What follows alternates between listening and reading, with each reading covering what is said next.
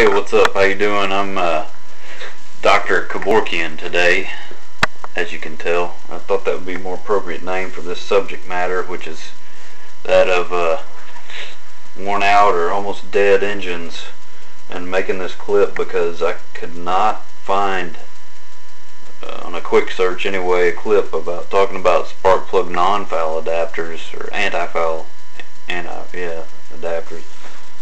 Just clips of guys using them on oxygen sensors, which is, I don't understand that. I think it has just something to do with being broke or maybe something even worse. I don't know if it has something to do with Brokeback Mountain or not. But anyway, I digress as usual. And uh, anyway, this is what a spark plug non-foul adapter looks like, or a type of one. This one uh, surely there's other types because this one is for like little short stubby spark plugs like these like for a, a, a small engine lawnmower or chainsaw or whatever. Now this one's a short stubby but believe it or not I think this actually came out of an old uh, 440 Chrysler cylinder head engine but um, all this non-foul adapter does is cover your plug to keep carbon and crap out of there.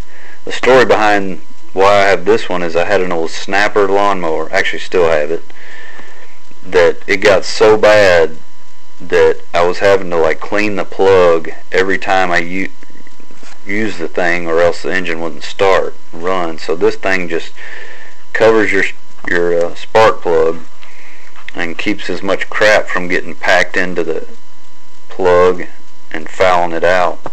It just has this little like 3 16ths or smaller hole that allows you know it to find the spark.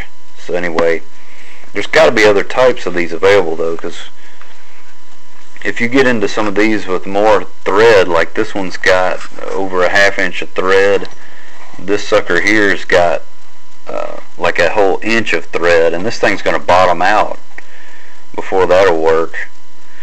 So sorry, I, I, digress. I failed to mention that this is a band-aid fix for a worn-out engine, or and or way out of tune. It's so.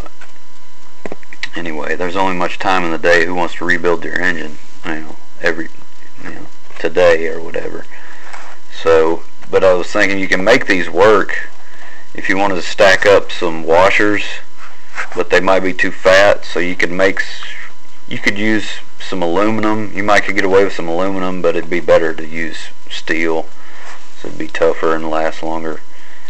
But uh, you could just make an adapter for these, like, and you just have to measure it. You could use some three-quarter inch round stock, or maybe a little smaller.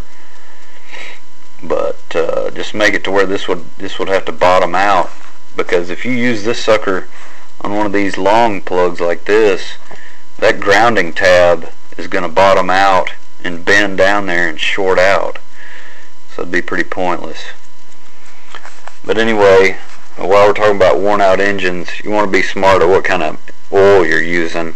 I got some thin stuff here. This is 520 thin uh, for a like new or for a new engine or cold cold weather. That's good stuff.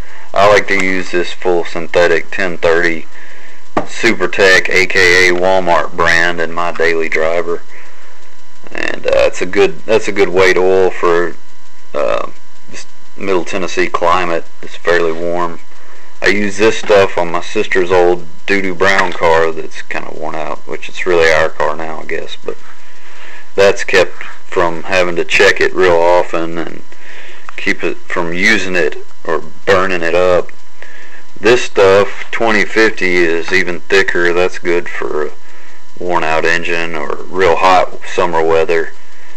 And then the Who's Your Daddy of all thick motor oil is the No Smoke. And that's right in league with the spark plug non-foul adapter, man. You can see how slow it takes this, how thick this stuff is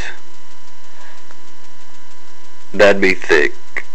So, so that's for a seriously worn out engine.